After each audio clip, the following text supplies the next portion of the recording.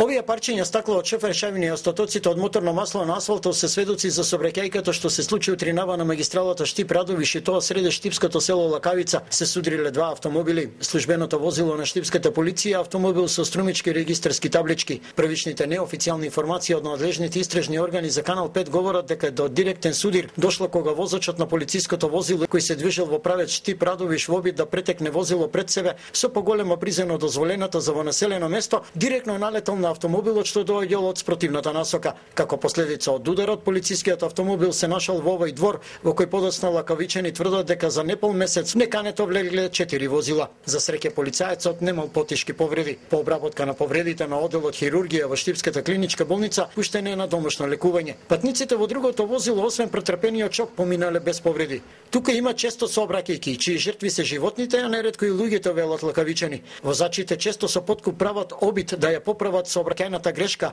при тоа не ведејќи сметка дали повредиле животно или човек. Таму има удрено дете, па на тој го нуди него со чоколад, кој чички му земе, ој чички му земе, и ме нуди мене со пари колку да ми дадел. Викам ја дете јам немам пари не ми требат на мен. Ако сгазат на кокошка на пример, вика ја ти 20 денара. Врзи си.